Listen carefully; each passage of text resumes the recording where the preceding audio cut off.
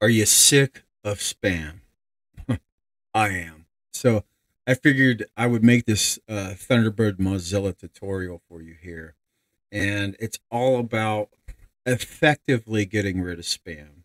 Now, I found myself creating filters and, you know, blanket filters for uh, certain email addresses, and it just uh, was, was getting very taxing. So uh, it's almost like a losing battle. So, what is the most effective way to, you know, combat spam, especially in Mozilla Thunderbird? I'm going to show you here. I left a couple spam messages here, the salary one, and uh, let's see here. I think I left another one up there. Uh, this Lowe's customer support, obviously not from Lowe's.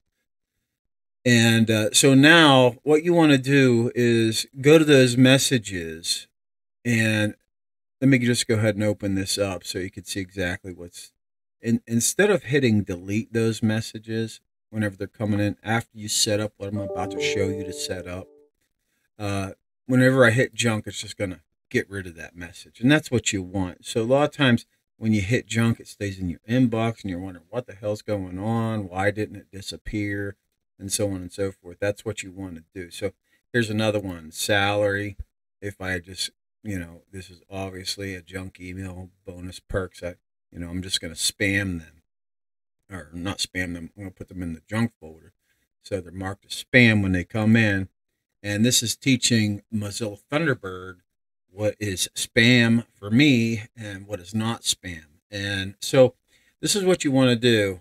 Uh, now I did this globally. You could do this per uh, email uh, email address. So let me just close this up here. Here's my different email addresses. I'm going to right click and then go to settings. Okay. The next thing that I'm going to do is I'm going to come down here to where it says junk settings. And you want to enable this adaptive junk mail controls. Okay. That means it's it's going to learn what you what you mark as junk, and it's going to do that. You know, start getting automatic. Oh, okay. Before it when it hits the inbox, okay, this is junk for him. You don't want to see it. It's going to go to the junk email folder. Now, could it make mistakes? Of course. Now, it says here, do not automatically junk uh, mark mail if the sender's in this list. So you have to have, if you have these uh, different lists, anything that is in these lists will not be marked as junk. You know, it'll it'll be allowed to come through. Okay. And so you can trust mail headers sent by SpamAssassin. And does it make mistakes? Of course it does. Does it get most of them? Yeah, it does. And so uh, what you want to do is, you know, whenever those uh, spam things come in, you can move the junk, the new junk messages to a junk folder. This particular account, Max at A1 Website Pro, it goes to my junk folder and you know I can empty the uh, junk folder. I, I have that set to uh, officially delete every five days, you know, because I'm on here every day.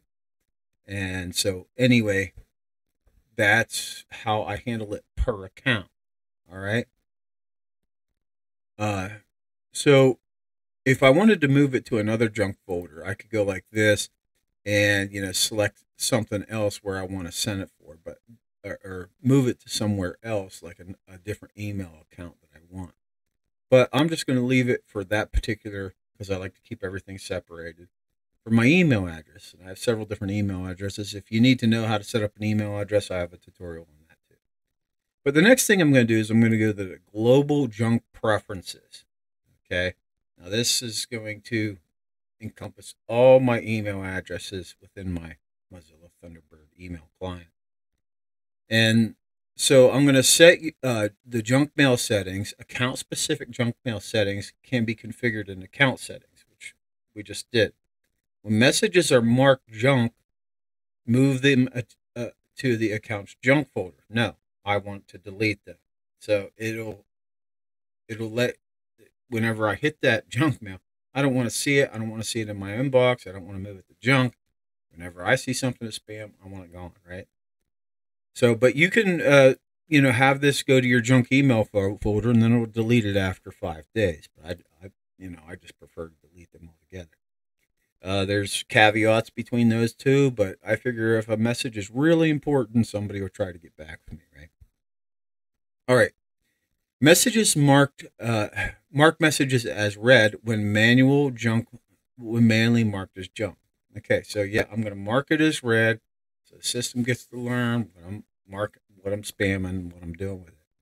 And the next message that comes in, it will go to my junk folder, and that'll be deleted after five days. So I have an option to check my spam or junk mail folder, right? So if Thunderbird determines they are junk, I have that checked too right? So if uh, they determine that's junk, it's going to move to the junk folder. Now, I usually know when a client's going to email me or, somebody's going to email me or I usually talk to them via social media or something like that. So this is saves more time than the money that it loses, right?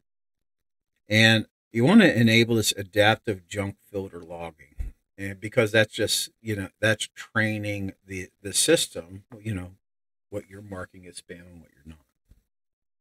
So uh, the Thunderbird collection data, well, this is just helps Thunderbird. Uh, you can send technical information. You also can send uh, crash reports.